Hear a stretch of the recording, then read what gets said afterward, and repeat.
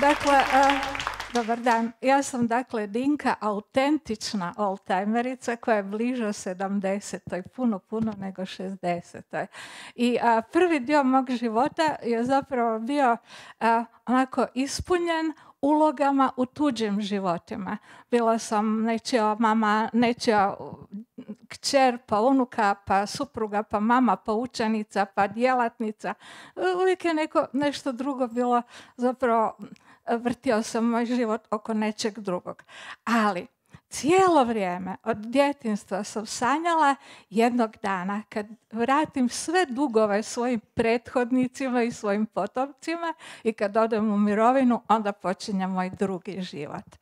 I a, počela sam se spremati u mirovinu 20 godina prije nego što sam u nju išla. Kupila sam si ogromno imanje sa hrastovom šumom i sa drvenom kućicom i napravila sam si jezero, sam namještaj sam sama napravila.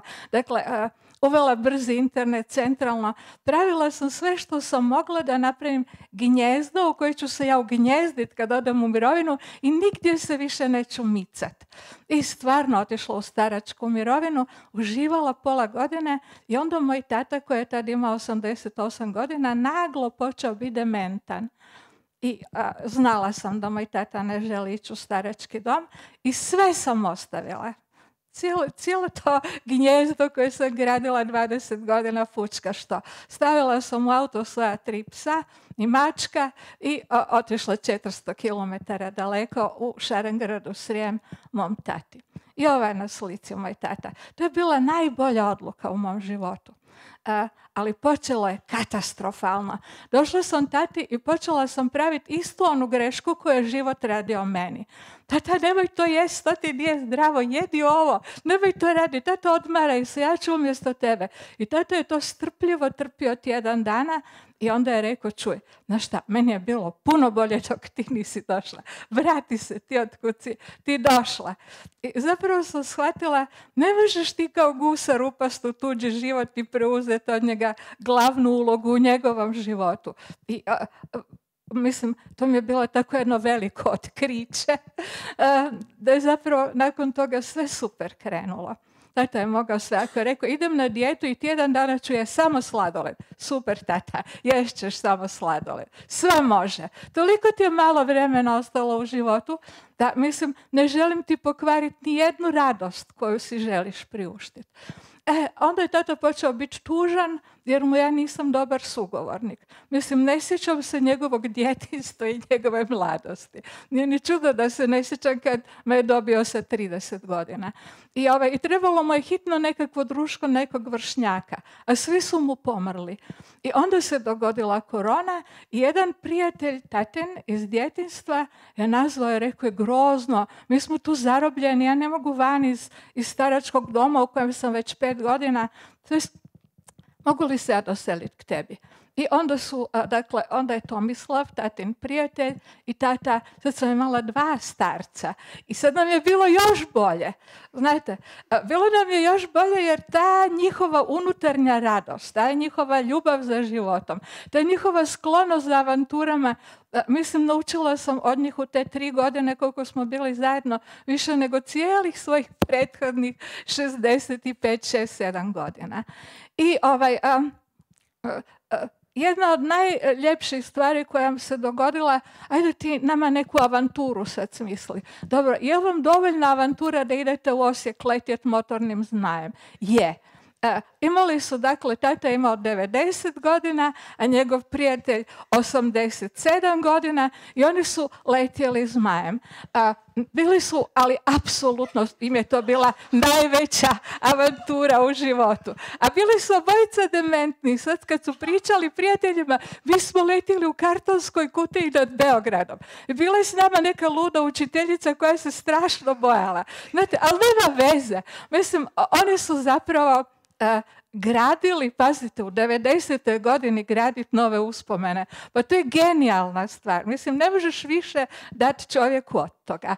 E, nažalost, prije godinu dana nešto više od godinu dana. Prvo je umro Tomislav, pa je umro tata i sad je u meni ostala grozna rupetina. Šta ću sad ja? Ne, neću se vratiti u onu moju drvenu kućicu na ono moje imanje. To je neki prošli život. Ja ću nastaviti ovaj život koji sam počela sa tatom i Tomislavom. I sad idem vidjeti koji je moj veliki san. Želim se spuštati niz Dunav, na na primjer, makar od Vukovara do Šarengrada tih 25 km. Ali ne mogu sama, treba mi neka ekipa. Idem sad napraviti veliku regatu, pa će nas biti stotinjak, pa ćemo napraviti sami svoje splavi i nekakva čudna plovila od recikliranog materijala. Pa će doći puno mladih ljudi, ja ću se samo lijepo njima prikrpati i idem ja s njima. Međutim, dala sam pravi čak i ekološke drvene medalje. nagovorila sam i lučku kapetaniju, i vatrogasce, i gorsku službu spašavanja, i pograničnu policiju, da šest spasiteljskih čamaca sam dogovorila da nam bude pratnja. I u tri mjeseca, dakle, napisala stotine pisama i mailova, nagovarala ljude, ajde sa mnom u regatu u tri, četiri mjeseca samo troje ljudi mi se javilo mladi i ništa. Bila sam ono gotovo očajna, ovako na rubu sam bila. I onda su mi se dogodile dvije oldtimerice. Ela i Marija, dvije italijanke. Dvije žene koje su prije prehodale kameno i sad su bilo ono nabrijane. Idemo mi ostvariti svoj životni san. A životni san im je bio da krenu pješke putem Marka Pola, da prođu cijeli put svile. E, ne da dođu samo do kineskog zida, nego da, ni do Pekinga, nego skroz do Korejskog mora. I cure su napravile sebi raspored da će to svake godine jednu dionicu preći i sad sa 80 godina krenule su dionicu Venecija, Istanbul. I kako su pravile plan da svaki dan hodaju 30 km i na kraju dana da u nekom mjestu potraže prenoćište, pa onda sutra idu dalje. Tako su praveći taj raster putovanja nabole i na Šarengrad i tako su došle k meni. I a, zapravo prijateljstvo s njima i razgovor s njima i druženje s njima mi je posvijestilo pa koja si ti kokoš bila, kako si mogla tražiti društvo za regatu među mladim ljudima. Pa oni ganjaju karijeru, ganjaju muževe žene, ganjaju djecu, ganjaju ne znam šta. Mislim, all timeri su tvoje društvo. Ali ne oni zarđani koji sjede kod kuće pred televizorom i piju ljekove, nego ovakvi kao što su Ela i Marija. Jako puno sam od njih naučila. I, uh, i, ovaj, um, I onda sam, dakle, u, u tjedan dana okupila cijelu ekipu koja mi je trebala za regatu. Prvi je bio ovaj stari Valentin. On je, dakle, pravili smo, svako je trebao napraviti svoje plovilo. On je rekao, ja ću uzeti debele hrastove daske iz poda moje roditeljske kuće. Napravio je splav koja je težila 300 kila. Morali smo staviti jedno 30 kanistara od 10 litara praznih ispod te splavi da to ne potone.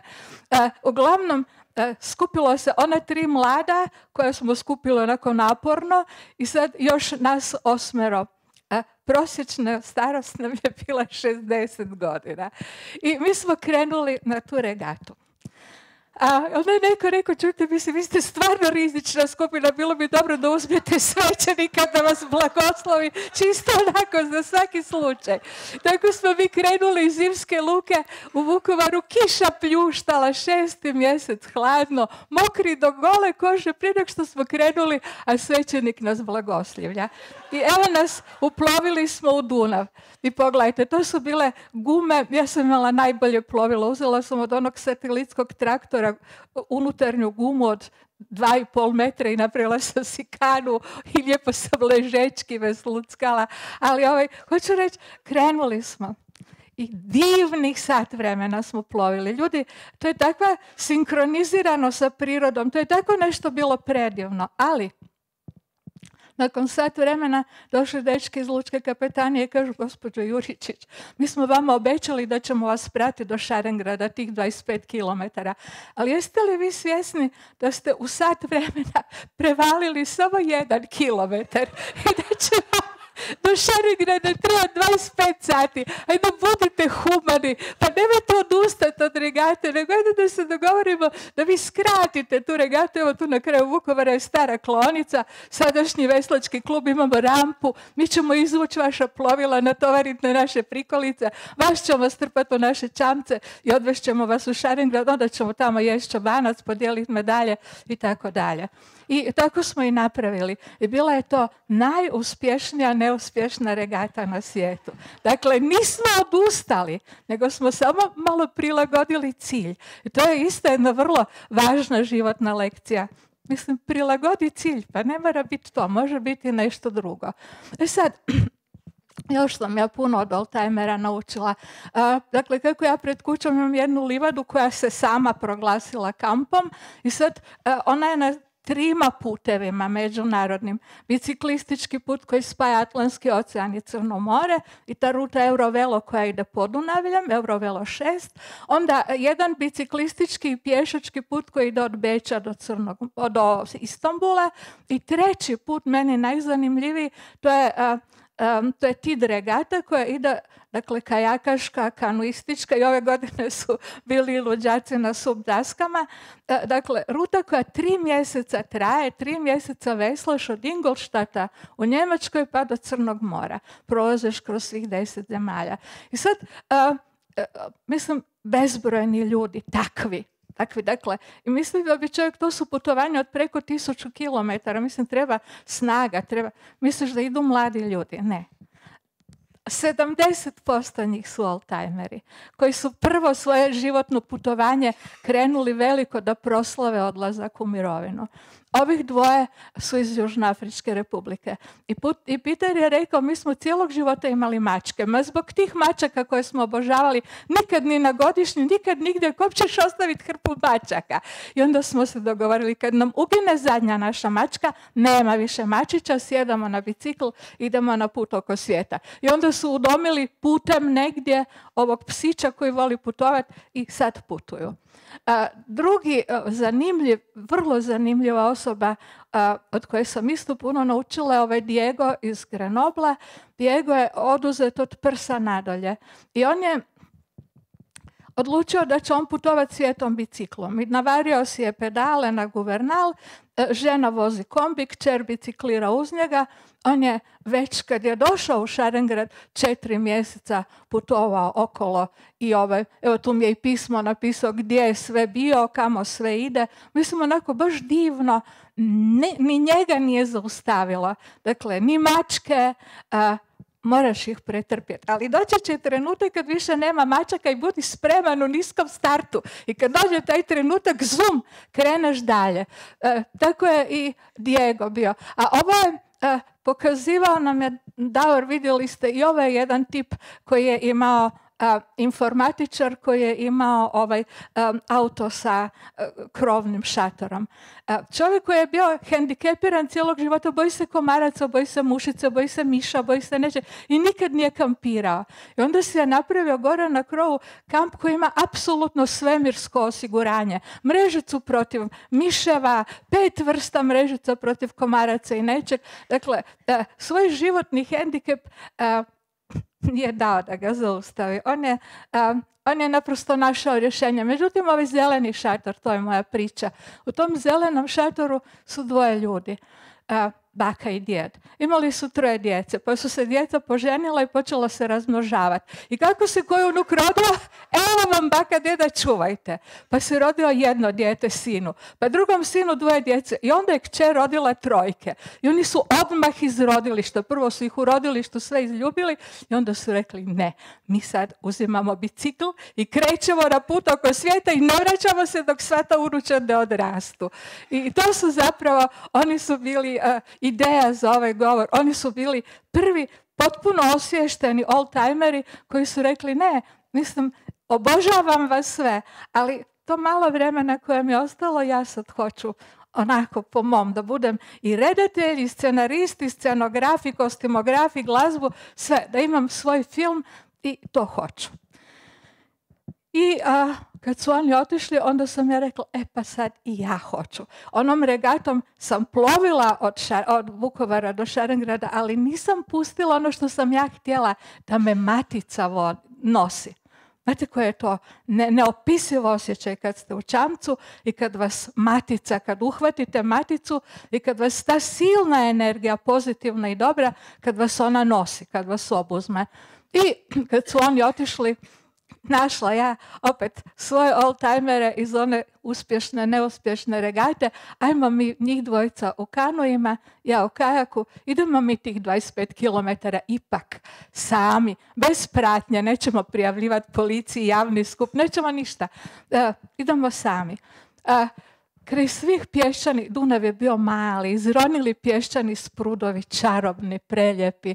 Mislim, pogledajte, to je bilo prije tri tjedna, već je bio deseti mjesec, voda ledena, a mi se izuli bosi po pjesku, po, po, mislim, to je bilo toliko divno, tako smo se napunili energijom.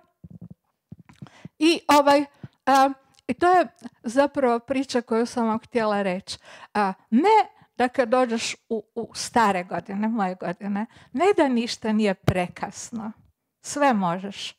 Nego sve što kreneš, čim izađeš iz svoje zone udobnosti i kreneš u avanturu, sve je prekrasno.